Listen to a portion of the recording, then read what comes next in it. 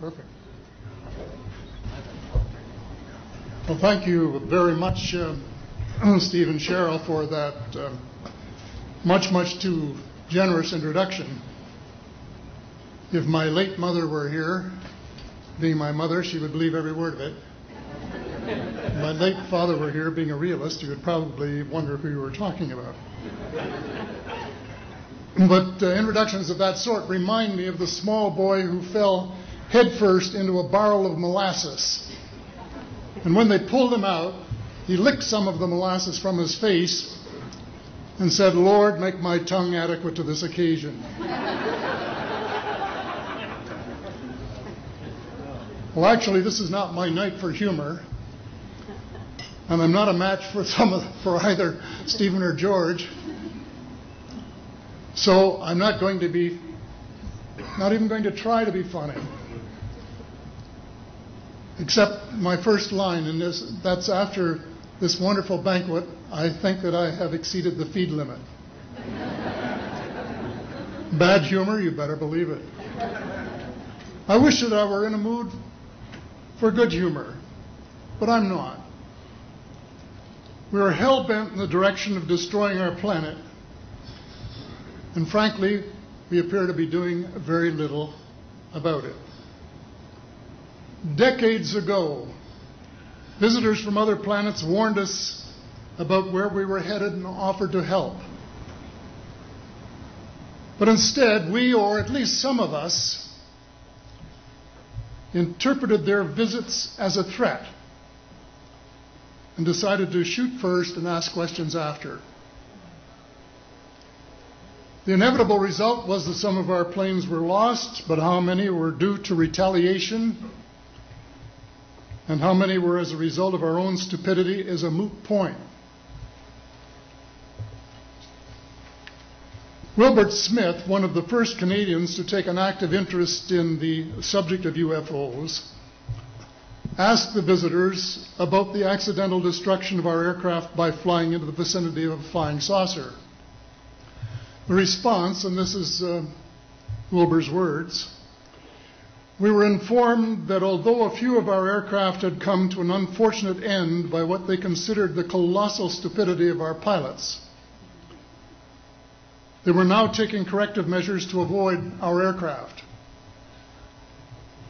I asked them, and this is still Smith, I asked them what happened, and they said, well, the fields around the saucers in order to hold them up, in order to produce the gravity differential, the time field differentials, which were necessary to operate the ship. These sometimes produced field combinations which reduced the strength of materials to the point where they were no longer strong enough to carry the loads that the materials were expected to carry. Now, as we know, aircraft, particularly the military type, are built with a rather small factor of safety. And in these regions of reduced binding, the materials are no longer strong enough to carry the load, and the craft simply comes apart. When I read that, I was reminded of the late great soprano Lily Pons who used to smash crystal goblets with her high C. She would direct the sound at them, and something in the sound waves would change the structure of the glass, and it would fly apart.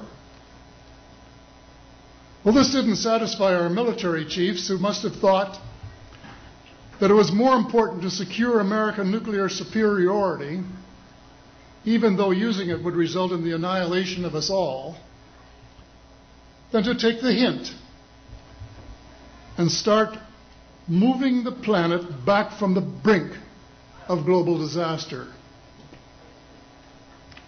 They, the military, must have been and still are so paranoid that they feel it necessary to use the visitors' technology to fight them off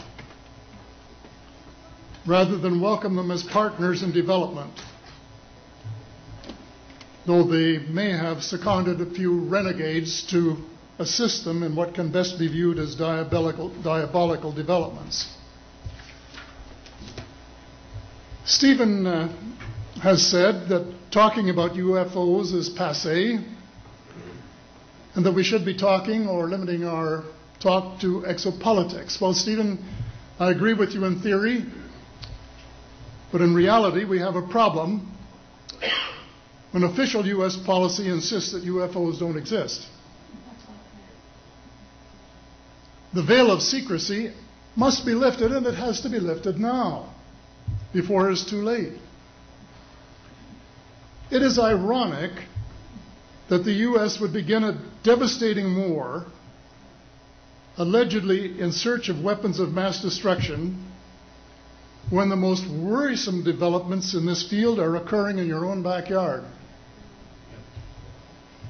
It is ironic.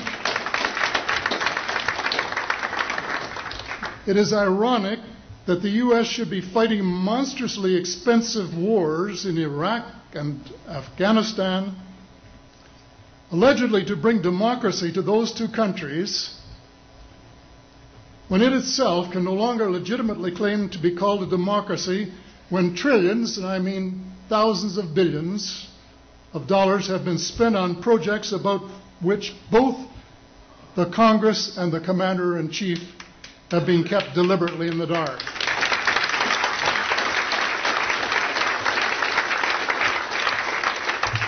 How much has been accomplished in 60 years of feverish activity by some of the most educated minds in the United States? Has America developed flying saucers that are visually indistinguishable from the visitors, as alleged? And if so, what do they propose to do with them? Even more critical, what progress has been made in the development of clean energy sources that could conceivably replace fossil fuels and save the planet from becoming a veritable wasteland. Well, who has the answers? Someone does, but apparently they aren't telling either secretaries of defense or presidents because they don't have, quote, a need to know. In a story told by Dr. Stephen Greer, President uh, Clinton was asked a question by White House reporter Sarah McClendon about why he didn't do something about uh, disclosure. And Clinton replied, Sarah, there's a government inside the government, and I don't control it. Excuse me, doesn't the commander in chief and the person who allegedly has their finger on the nuclear trigger have a right to know what his subordinates are doing? The people of the United States who have paid the bills have the right to know.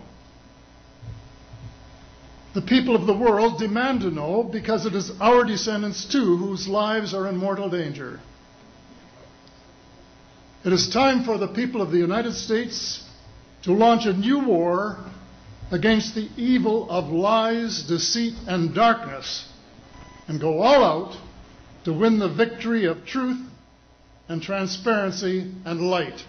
Thank you.